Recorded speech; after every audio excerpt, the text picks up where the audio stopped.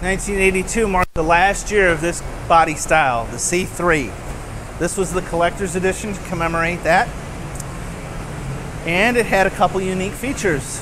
Of course, the beautiful gold exterior with the two-tone gold and beige interior and the rear hatch that pops on this car was the first for Corvette.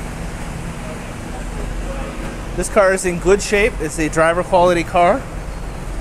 We'll give the paint um, with just a few small rock blemishes and such on the car.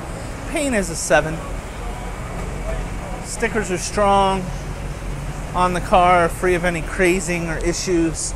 Uh, the this this area here usually has some crazing to it as well as the doors, so those look really good. Of course, the Crossfire injection engine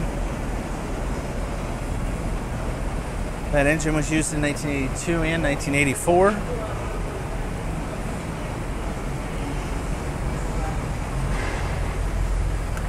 Glass T-tops and an automatic. That's the only way they came in 1982 was all automatics.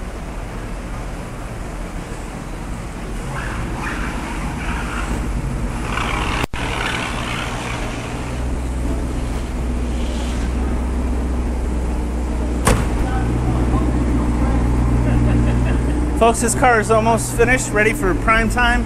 Give me a call at 770 605 2056 or John at buyavette.net if you'd like to know more about this Corvette or the hundreds of Corvettes I carry in stock.